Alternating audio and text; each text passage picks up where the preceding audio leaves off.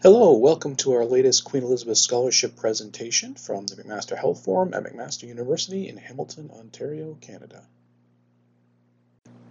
I'll provide you with a quick rundown of the McMaster Health Forum, the Queen Elizabeth Scholarship Program, and the Queen Elizabeth Scholarship Program here at the Forum. I will then turn it over to our scholar presenter who will talk about their experiences. The McMaster Health Forum aims to be the leading hub for improving health outcomes through collective problem solving. We harness information, convene stakeholders, and prepare action oriented leaders to act as an agent of change by empowering stakeholders.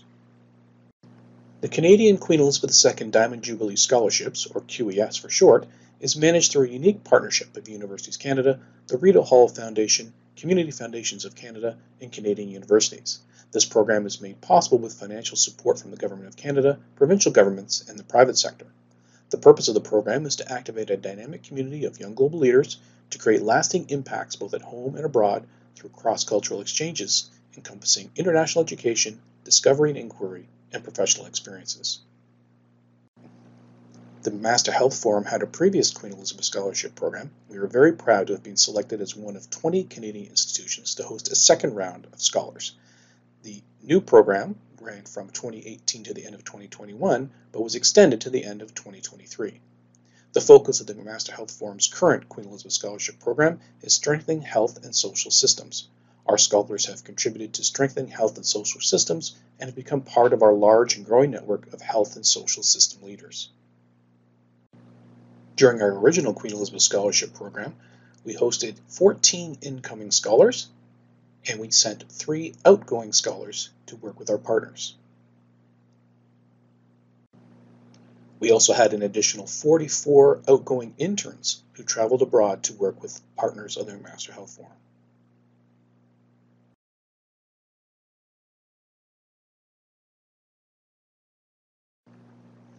For our current Queen Elizabeth Scholarship Program on Strengthening Health and Social Systems, we have hosted seven incoming scholars and we have sent abroad 24 outgoing interns who have worked with our partners around the world.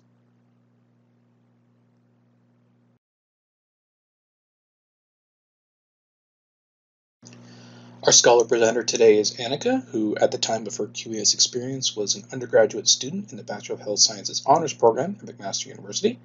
Anika has developed an interest in public health, evidence-informed decision-making, and improving health systems, during her internship, Anika hoped to gain further insight into the process of integrating evidence into decision making to enhance health systems. Anika, over to you.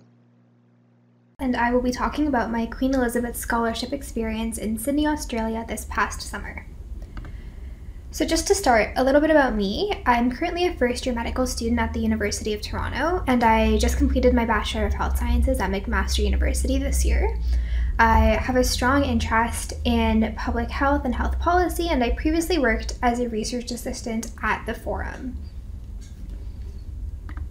So, this is just a brief agenda of what I'll be covering today. First, where I did my internship in Sydney and what projects I worked on, then some reflections on what I learned over the three months that I was there, and then I'll end off with some pictures of what I did in Sydney in my free time and some tips for future scholars that hope to visit there.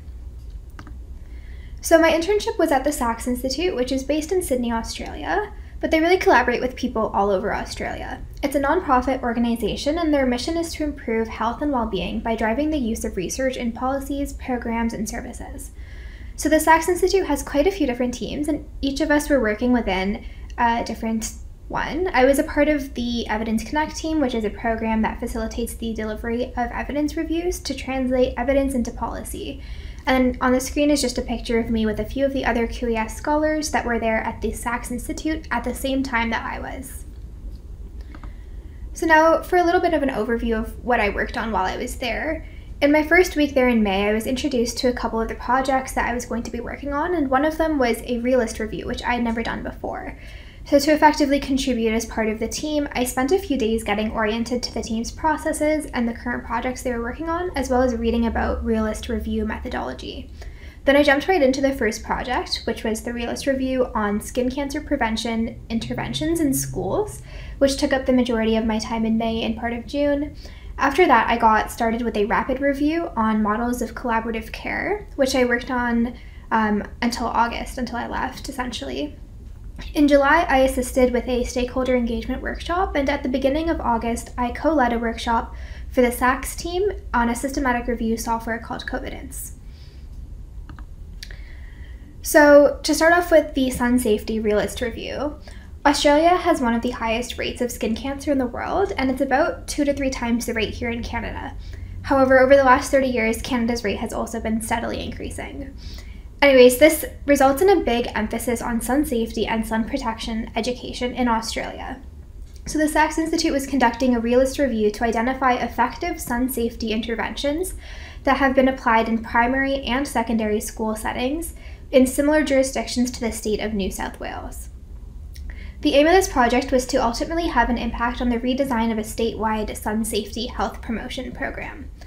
The realist review method was chosen because it focuses on the practical application of the review, and so we looked at academic papers as well as grey literature and policy documents.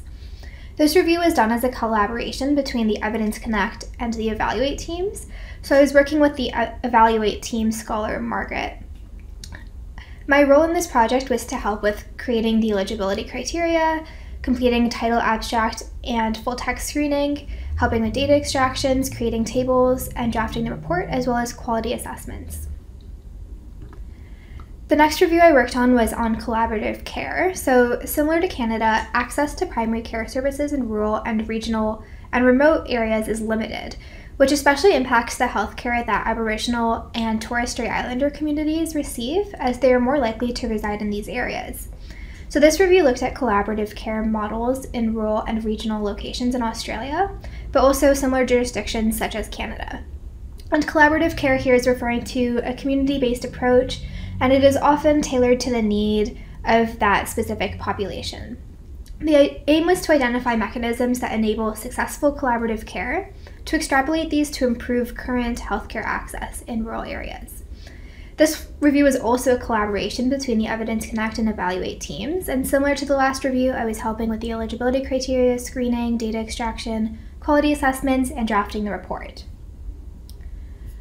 The third project I worked on was a stakeholder workshop, and so prior to my arrival, the Evidence Connect team had been working on a longer term project to create a client experiences survey for a government department in New South Wales.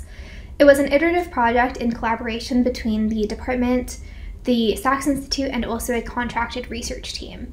Part of the project was for the Sax Institute to facilitate a workshop to get feedback from the department members that were going to be using the survey after the first round of research, with the aim to narrow down a focus for the next stage. So I was lucky enough to participate in the meetings for the planning of this project. I helped out with note taking and also supported the facilitation of the breakout rooms on the day of the workshop.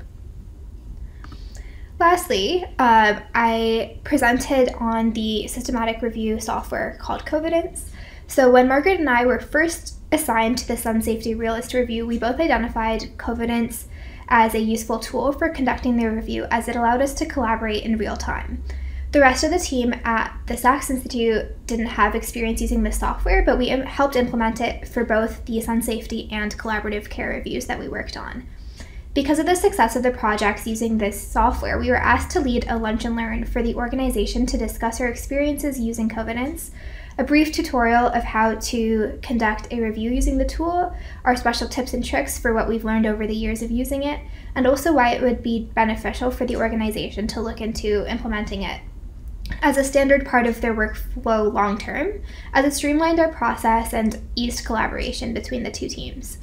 So, this presentation was recorded for future internal training purposes at the Sax Institute, which I think is pretty cool.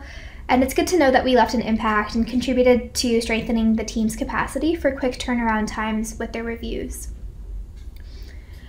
This internship was a great learning opportunity. The work was highly collaborative in nature, so I got to learn from everyone on the Evidence Connect team and even people on the Evaluate team as we participated in joint projects. There are three main things that I learned. The first was I got insight into the evidence to policy process. So it was my first time working on a realist review and a rapid review, which are much more um, practical and application based, as well as fast paced than regular systematic reviews. And being a part of all of the team's meetings gave me a look into how the small team operates to provide many evidence reviews with varying levels of turnaround time to organizations and agencies that need it. I also learned that maximizing the impact of the research was key at the Sax Institute, so the work wouldn't end at just producing the report.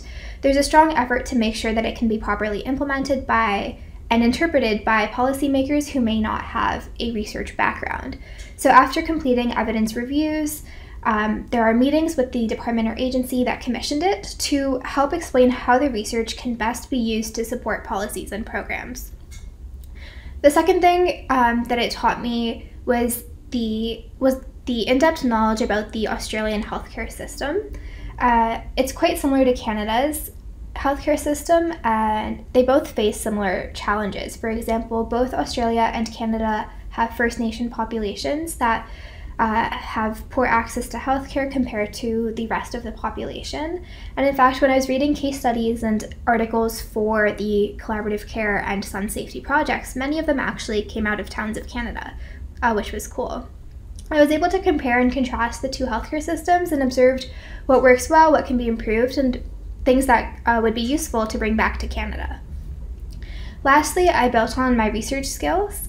And so I worked on developing skills for the practical side of the realist reviews, and that involved a lot of analyzing the context in which the interventions and models were tested to determine the relevance and applicability to Australia's policies and programs, and that I think is a really useful skill that I hope to use in the future. I also built on my organizational skills because I was coordinating large amounts of information. Through the stakeholder workshop, I learned new ways that stakeholder perspectives can be integrated into the research process. So, not only to guide the topic of the research, but also the methodology and the way that the final product is structured and delivered. Finally, I became familiar with two new types of reviews so, realist reviews and rapid reviews, which will be an asset as I hope to continue working in the research field in the future. So, now I'm going to discuss um, some of my explorations of Sydney that I did in my free time and on my weekends while I was there. Um, so, most people know it by the iconic Opera House. And here are just a couple of the many photos I took of the Opera House and the harbour front. For anyone unfamiliar with the city, it's the second largest city in Australia, as it was recently overtaken by Melbourne, and it is the capital of New South Wales. It's on the east coast of the country and is home to over 100 beaches. So I spent quite a lot of time exploring these on my weekends. Um, so since it's on the coast, I think Sydney is one of the most beautiful cities I've ever visited. I found myself doing their coastal walks almost every single weekend and tried to catch as many sunrises and sunsets as I could. So on this slide, uh, the left side picture is of Bondi Beach, the pool that they have there. In the middle is Manly Beach that I came across on our walk from Spit to Manly. And on the right side is Palm Beach, and that photo is at the end of a hike up to the lighthouse that we visited. Just some other coastal walks and beaches that I visited, as there were quite a few. Uh, the two pictures on the left are from the Coogee Beach to Bondi coastal walk, and then the pictures on the right are from the Rose Bay to Watson's Bay coastal walk. I also um, explored Sydney's architecture, learned about its history and their art scene. So these are just some of the things that I saw. On the left is Viv- the Vivid Lights Festival, which happens every winter there. Uh, on, in the middle is the U Sydney campus, which I think is gorgeous. I also visited the Australian Museum and learned a lot about Australia's history and their um, their animals and the creatures that all reside in the ocean, which is a little bit scary. Uh, and lastly, the Art Gallery of New South Wales was absolutely stunning, and I learned a lot about the current and past Australian artists that are very famous. I was also lucky that my supervisor and team were quite flexible with a hybrid working arrangement, so I was able to make a quick trip down to Melbourne in June while still working on my projects. So here's just a few of the things I saw. The picture on the left is just the CBD or their downtown. The middle is Flinders Street Station, and on the right is Hosier Lane, which is known for its street art. Lastly, um, we were lucky enough to visit the Blue Mountains. So one of the other scholar supervisors, uh, Carmen from the Aboriginal Health Team, was so kind and offered to drive us to the Blue Mountains for a weekend. The mountain range is about an hour and a half drive from Sydney and it has some of the most beautiful hikes. So, on this slide, we have the Three Sisters Lookout, uh, and we learned about the Aboriginal legend behind the rock's creation. We also did the Grand Canyon hike, which was challenging but quite beautiful. And on our last day there, we visited the Jenolan Caves and got to walk through one of them. So that's the picture on the right side. Now I just have some practical tips for future scholars that will be going abroad to Sydney. Um, in Australia, they walk on the other side of the street, so be careful of that if you don't want to run into people. Um, when looking for housing, the rental prices are listed per week, uh, so they can they can look cheap at first, and then and then you realize you have to multiply it by four. Um, in terms of, of public transportation, the Opal card was great. Um, it was quite convenient for getting around Sydney because they have a bus, a train, a light rail, and also ferries. And you can use that Opal card on ferries, which I would highly recommend, especially on the weekends. The fare is capped daily, and so you can take the ferry as many times as you want. And the views are great.